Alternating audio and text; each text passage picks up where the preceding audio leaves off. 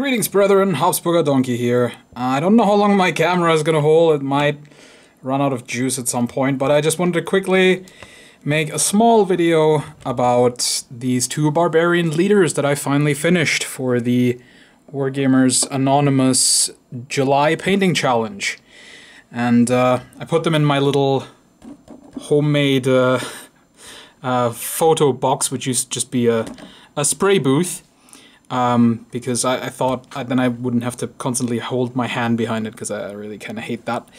So yeah, they're done. Uh, as I said last time, this one was already pretty much done and just needed the basing, and I gave him the exact same basing that I use on the goblins, because I kind of want the uh, basing to be consistent between all of my Oathmark uh, collection, so that I can, because of how the game works, right? You can you can put all different types of races together into one army, so I want to be able to do that and still have it look like one army.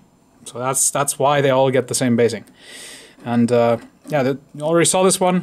Not much, not much different, but he does look pretty good on his base. And then we have, of course, the shaman that wasn't quite done yet. Uh, this this part is what I painted afterwards, the, uh, the the top of his staff, and I think it turned out excellent. I really love this this teal color uh, that I used on the skull, and you can see I also used it on the uh, fur type deal that he has hanging from the back. I sort of did like a, a split type deal. Uh, didn't it didn't end up looking exactly like I wanted it, but I'm I'm happy with it. So I think it looks good. Um, but yeah, this teal I think is is a absolutely beautiful color. Um, it's I think it's actually just called teal blue from the uh, Foundry range of paints. Uh, the highlight color is a tick too bright. I feel.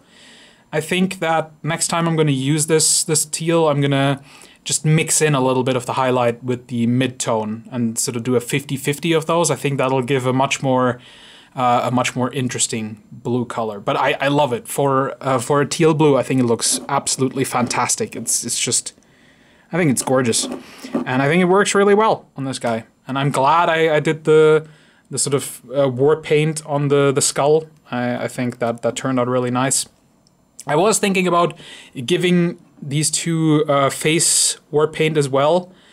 And I might still do that on the speed painted barbarians, but I'm not sure. I kind of like them the way they are. I think uh, Woad face paint is a little overdone, maybe. So I don't know. Maybe I'll I'll still do it uh, on the barbarians. I won't do it on these. I'll just say they're so important they don't need face paint because everybody already knows how awesome these two guys are. anyway, that's that's me done with the challenge. Uh, I had a lot of fun, and I thought a lot of the other stuff that I've seen was really great.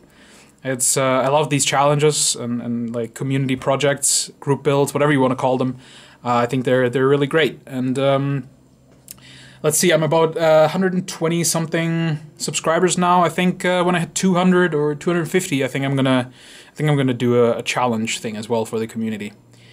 All right that's pretty much it, and I'll let you know when I have anything else finished, like the massive pile of terrain I'm working on, or uh, uh, anything about the uh, the barbarians, which are to be next, the, the, the speed paint. And uh, yeah, thanks for watching, and see you guys in my next video. Bye-bye!